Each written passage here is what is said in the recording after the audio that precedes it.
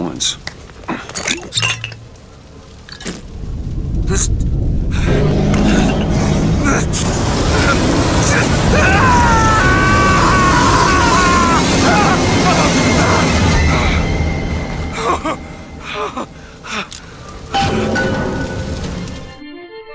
Press to throw a fiery grenade. Hold and release to create an explosive trap.